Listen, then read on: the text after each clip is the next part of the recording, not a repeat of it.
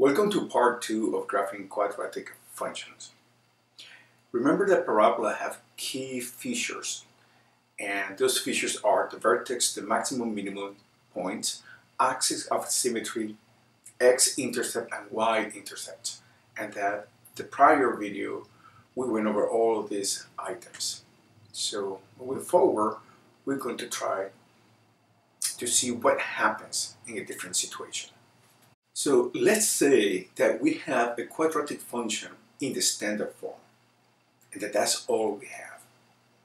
Let's say that we are given the function f of x equal a x squared plus bx plus c, that the function is in the standard form. Let's look at a particular function, f of x equal x squared plus 6x minus 40. Now, all we have is the function. We are not given any of the features of the quadratic function, just the function in the standard form. How would we graph this? How we can graph the function? How can we graph the parabola? We learned before in the prior video how to graph the quadratic function when we know the axis of symmetry, the x and y intercepts, and whether it opens up or downwards the parabola. So we're not going to go, in this video, we're not going to go over how to calculate this thing and how do we know these things. That's all part of the prior video.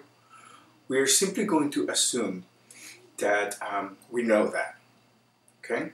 And then let's see what, what else we need to know to move forward.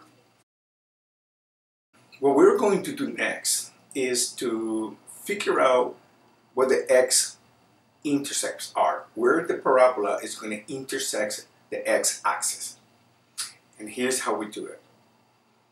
We know that the parabola can only intercept the x-axis when y is 0 we can infer that the coordinates will have to take the form of x sub 1, 0 and x sub 2, 0. If we were to intercept in two places, those coordinates will have to have 0 as the y coordinate. So f of x equal to x squared plus 6x minus 40 is our um, function. And we know that this is equivalent, which is equivalent to x equal x squared plus 6x minus 40. f of x can be expressed as y.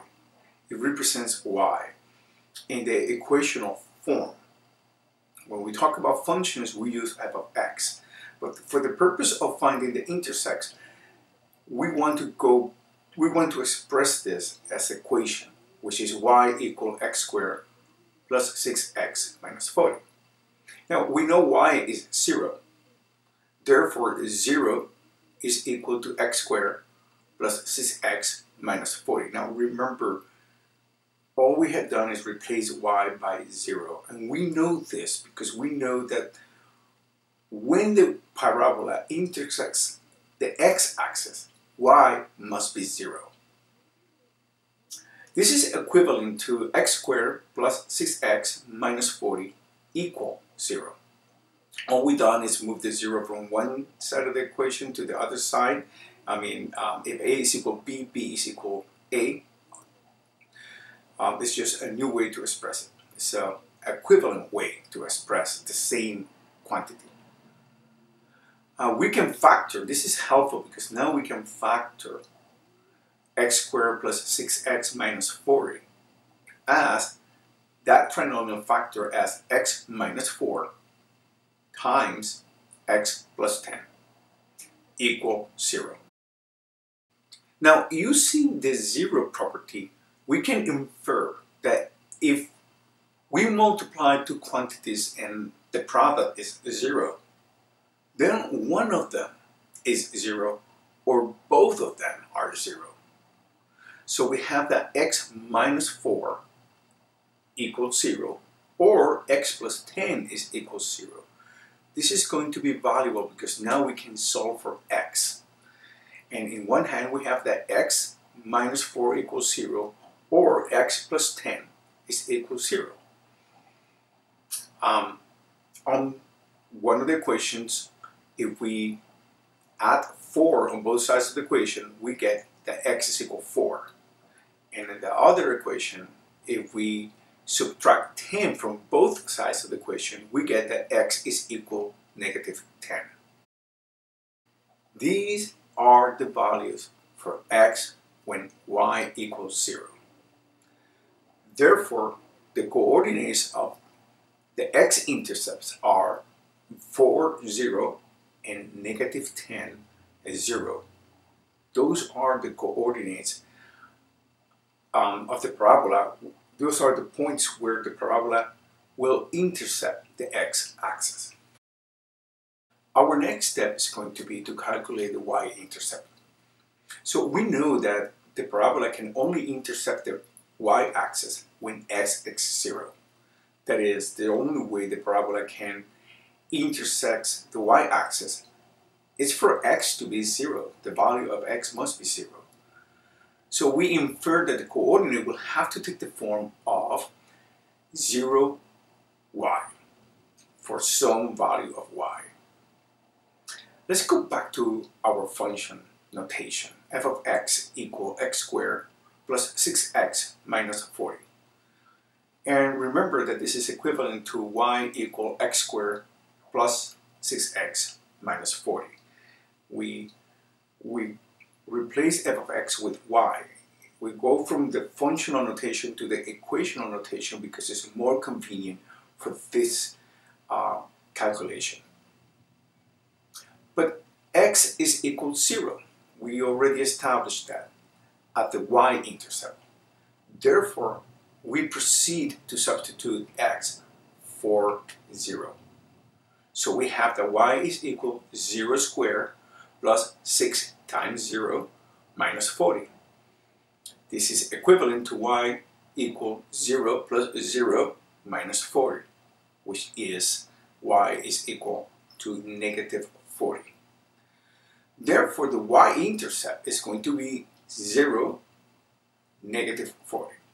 Those are, that's the coordinate of the y-intercept. That is the point where the parabola will intercept the y-axis we have what we need to graph the problem.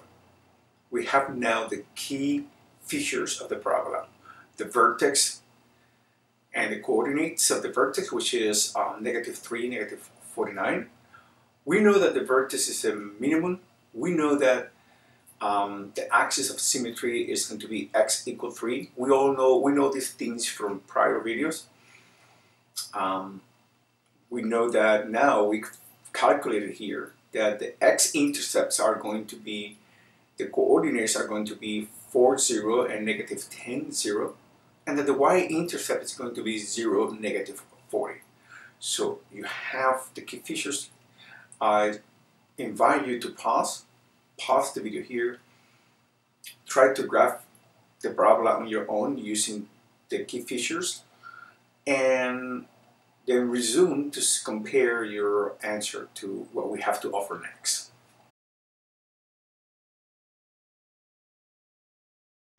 So, does your graph look something like this? Good. Um, this is how we can use the function of the parabola in the standard form to graph to graph the parabola. Thank you.